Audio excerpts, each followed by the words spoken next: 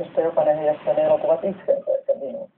Kun tässä tätä elokuvaa, kun siis ajattelet tätä nimenomaista siis fiktioelokuvaa, 15 vuoden tauko edelliseen, Joo. niin millä tavalla tämä on muuttunut tämä leppabisnes tässä mielessä? Onko siis esimerkiksi niin kaupallisia paineita tämän elokuvan kanssa? On, ihan, siis alkaa olla lähes mahdoton tehdä elokuvaa aikuisille ihmisille. Me ollaan jotenkin lahjoitettu tämä elokuvateatteri, tämä sosiaalinen kokemus, että se on niin kuin, se yleensä käsittelee 12-vuotiaan amerikkalaisen pojan sielun elämää, ja se ei nyt voi 60 naista kauheasti kiinnostaa.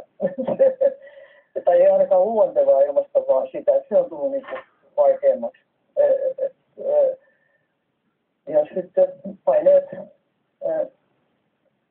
kuvausajat on lyhentyneet, ja, mutta mulla on tosi hienot nuoret tuottajat. On paljon hyvääkin tapahtunut. Mun mielestä kuvaryhmän ilmapiiri on loistava, kunnianhimo ja yhtään sen vähäisempää, ammattitaito ei ole vähäisempää, mutta talous on niin kuin tietokone antaa valitettavasti mahdollisuuden seurata päivätarkasti, mitä, mitä me tehdään meidän tästä räjähtävää budjettia niin kuin ennen. Just näin. Mutta tota, niin, sä oot saanut kauheasti kehuja paitsi aikaisemmista töistä myös palkintoja. Tätäkin on ehditty jo, jo kehua. Ja tota, siis marraskuussa ilmestyy suomennos amerikkalaisen elokuvakriitikko John Andersonin kirjasta Armoton kauneus. Siinä kuvaa sinua kirjassa virtuosimaisiksi ohjaajaksi ja tiukaksi esteetikoksi runoilijaksi kameran takana. Minkälainen panos sulla oli tähän kirjaan itselläsi?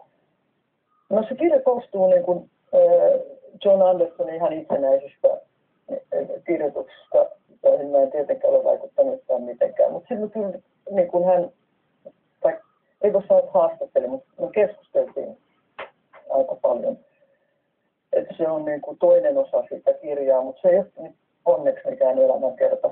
Että ehkä mulla on vielä jotain jatkoa tässä. Sitten se sulji mun elämääni oikein kronologiseen aikaan. Että se, se on niin kuin semmoinen aika dialektinen hänen kirjoituksiaan ja sitten